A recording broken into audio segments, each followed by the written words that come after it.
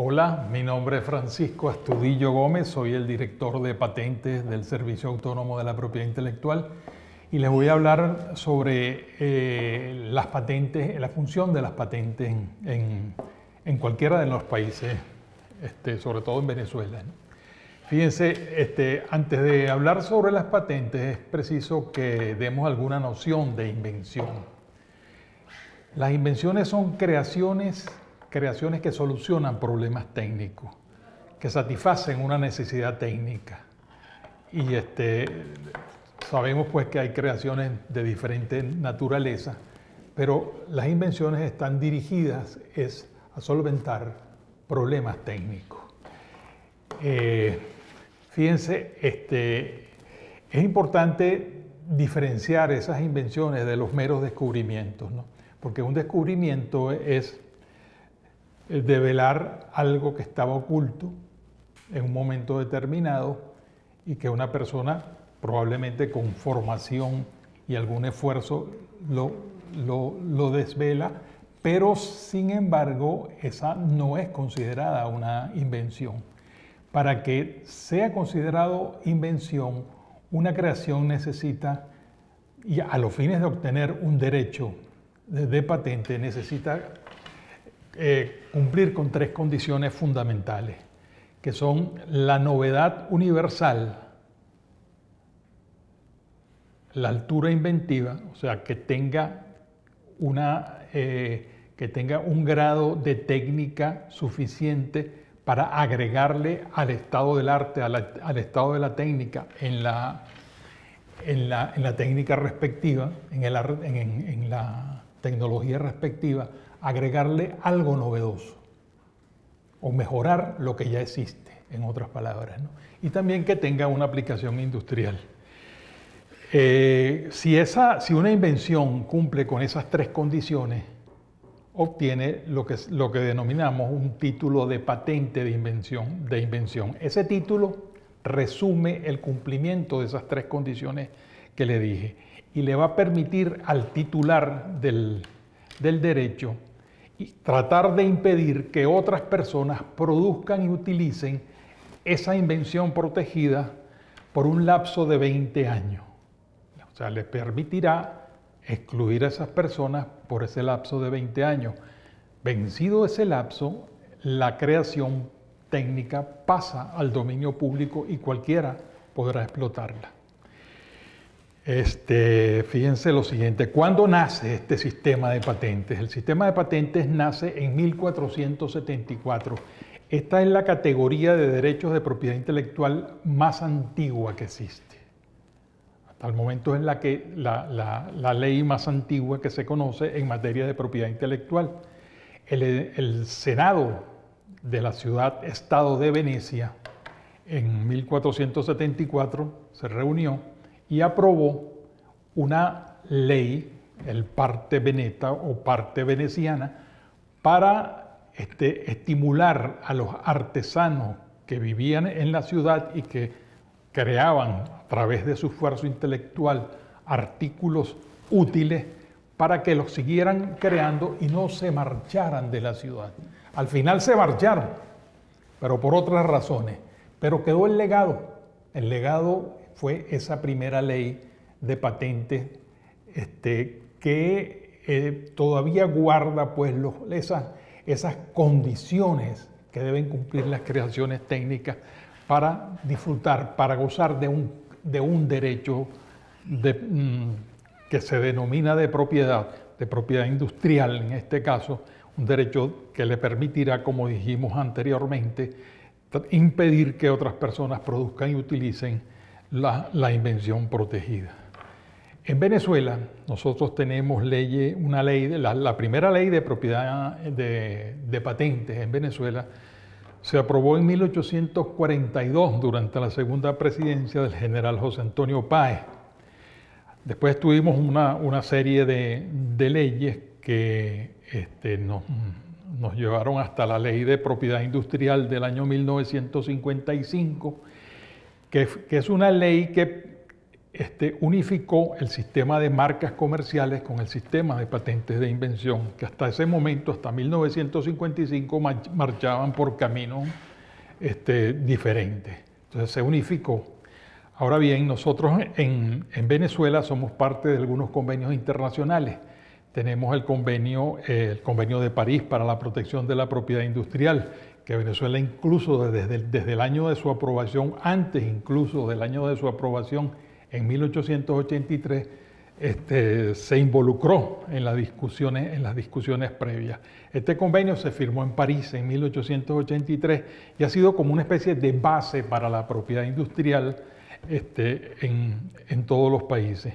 Pero este, todo este, este, y existen también algunos otros convenios en el área, sin embargo, quizás la, fecha clave en materia internacional o el año clave en materia internacional eh, referida a la, propiedad intelectual, a estos derechos de propiedad intelectual, fue en 1994 cuando se aprobó el acuerdo sobre los aspectos de los derechos de propiedad intelectual relacionados con el comercio, conocido como el Acuerdo sobre los ATIC por sus siglas en español o TRIPS por sus siglas en inglés. Este, este acuerdo es, un, es, una especie de, de, código, de código de propiedad intelectual, porque abarca todas las categorías de derechos de propiedad intelectual y algo muy importante también, este, que se denomina dentro del acuerdo observancia, que son normas para la defensa de esos derechos que establece el propio acuerdo. Pues bien, este acuerdo sobre los aspectos de los derechos de propiedad intelectual relacionados con el comercio está, vigente en Venezuela.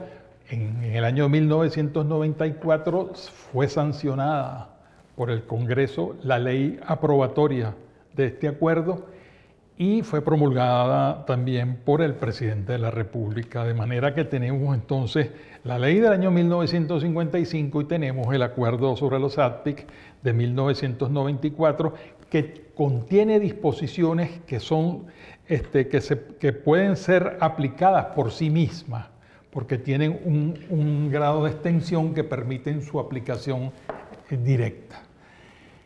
Este, fíjense, la, el, el, sistema de patentes en, la mayoría de los países funciona este, como eh, un instrumento de política pública, instrumento de política pública para alentar la creatividad técnica en este caso.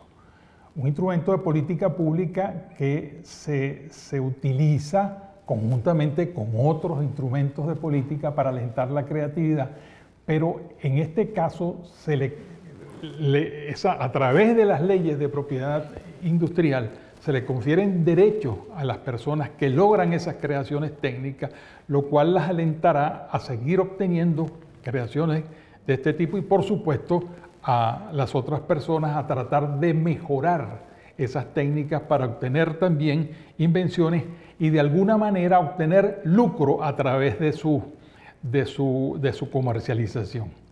Porque una de las funciones importantes que tiene el sistema de patentes es esa, esa función transaccional, transaccional que tiene el, el este, que, que, le confiere a esas creaciones técnicas el sistema de patentes, porque es un título, es así como tener pues, el documento de propiedad de un inmueble o el documento de propiedad de un vehículo, cuando se tiene un derecho especial, exclusivo, sobre una creación, ese título se denomina patente. Y esa patente entonces refleja la titularidad que se tiene en el derecho y permite pues una transacción en el comercio de la tecnología protegida. Y por eso es que a veces hablamos en, este, en, el, ambiente internacional de lo que es la transferencia de tecnología. Se transfiere tecnología de manera mucho más sencilla cuando se tiene un título de, de patente. Esta, eh, adicionalmente a, la, a esa función tan importante que transaccional que tienen las patentes, pues tienen la, función alentadora de la creatividad. La creatividad se alienta a través de la posibilidad de obtener ese derecho que nos permite entonces obtener lucro a través de la relación con terceros, porque se pueden excluir a todas las personas este,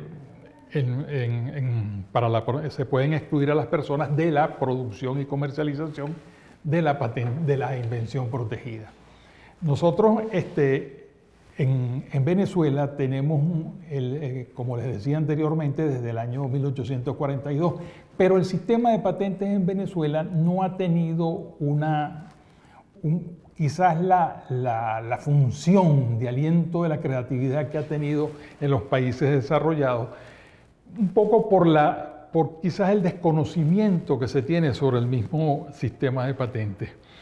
Este, es importante señalar que en, este, la, esa, esa, función de aliento de la creatividad no ha sido explotada en nuestro país este, en, un sentido que, que, nos permita conocer bien el sistema y las funciones que tiene. Fíjense, eh, este, una función aledaña pues, a, esa función incentivadora de la creatividad es la función de divulgadora de la información técnica. No existe en el mundo una base de datos sobre información técnica más grande que las bases de datos en materia de tecnología patentada. Se calcula que existen en el mundo más de 40 millones de documentos técnicos de patente, muchas de ellas están ya en el dominio público, o sea que transcurrieron ya los 20 años para ejercer el derecho exclusivo, pasaron al dominio público, pero también hay, hay otras que todavía están vigentes, pero la información es accesible. Cualquiera puede acceder hoy en día a la información tecnológica contenida en las patentes de invención y este, hay, países, hay países que que no abordan el, el, desarrollo de un proyecto de investigación si antes no hacen un análisis de toda la tecnología patentada. Y eso tiene muchísimas ventajas porque nos va a permitir conocer qué existe en, en materia de desarrollo tecnológico en el área específica y entonces nos va a permitir también entonces mejorar esa técnica que ya existe. También el sistema de patentes se ha convertido hoy en día en literatura académica. Las universidades cada día utilizan eh, eh, mayormente la, tecnología patentada como fuente de información para sus estudiantes. Los estudiantes pues tienen en, las bases de datos de, de, las oficinas más importantes de patentes en el mundo, como la Oficina Europea de Patentes, la Oficina de, China, la oficina de los Estados Unidos, la oficina de Corea, la oficina de Corea del Sur, la oficina de Japón. Ahí tienen una información valiosa y pueden cruzar esa información y obtener, en cinco minutos se puede obtener el estado de la técnica en un área específica desde un, desde un computador. Eso este, es, grandioso, sencillamente, porque nos permite acceder a, esa, a la tecnología conocerla y tratar de mejorarla. Eh, fíjense este, cuál va a ser el futuro del sistema de patentes en Venezuela. El sistema de patentes ha tenido este, vaivenes en, nuestro país, no ha sido aplicado este, en su extensión. Hay un repito, un desconocimiento muy grande sobre su alcance y su naturaleza. Y por eso este, no hemos aprovechado como debe ser este sistema. La, la, tarea que tenemos en el Servicio Autónomo de la Propiedad Intelectual es lograr que el sistema de patentes pues, se, se restablezca en toda su extensión, en toda su extensión, que pueda ser concedido a las personas que vengan al, al Servicio Autónomo de la Propiedad Intelectual y presenten sus creaciones técnicas y si cumplen con las condiciones eh, eh, previstas en la ley que ya les mencioné, pues entonces el Estado les pueda entregar ese derecho para que puedan ellos este, trabajar con sus invenciones y excluir a personas que no hicieron ese el esfuerzo para lograr esa, esa creación técnica, esa invención. Eso les, va a permitir, por supuesto, obtener beneficios, beneficios económicos, le va a, obtener, le va a permitir este, introducirse al mercado, tratar de, obtener los beneficios explotando directamente la, creación técnica o por supuesto también este, transándola en el mercado, permitiendo que otros la utilicen a través de las denominadas licencias, licencias contractuales. Una este, función importante que tiene el sistema de patentes en el área de salud. También hay, cierto desconocimiento sobre la, importancia que tienen las patentes en algunos sectores industriales como el sector farmacéutico. Es muy sencillo, pues las inversiones, las grandes inversiones que se hacen para lograr eh, medicinas y vacunas y otros medicamentos para tratar este, enfermedades, este, se logran por, la, por el incentivo que trae a esas empresas que hacen inversión en investigación y desarrollo, y desarrollo el sistema de patentes. Eh, la, la, importancia que tiene para estas empresas del sector farmacéutico es muy grande porque es un sector sumamente competido. Entonces, la, la idea es que al hacer esas inversiones se pueda, y obtener la patente se pueda lograr un retorno y por supuesto los, los beneficios que pueda generar, generar la, la, comercialización de, de, esa invención, que en este caso es un medicamento. Pero eso es así en todas las áreas, en todas las áreas industriales, en, la, en, el área de alimentos. Este, también tenemos otra área que a veces es muy desconocida en Venezuela, que son los diseños industriales, que son modelos modelos cuando son tridimensionales, modelos industriales o, bidimensionales, dibujos, dibujos industriales. Pues. Eh, la, industria del diseño a nivel mundial es muy, muy, muy conocida, muy, muy atractiva y, tiene unas grandes inversiones que hacen las empresas para lograr diseños. Diseños, todo lo que, lo que nosotros podemos ver dentro de cualquier espacio, vemos mesas, mes, este, artefactos, sillas, todo eso obedece a un diseño. Y esa, esos diseños son creaciones autónomas, diferentes incluso a las creaciones técnicas.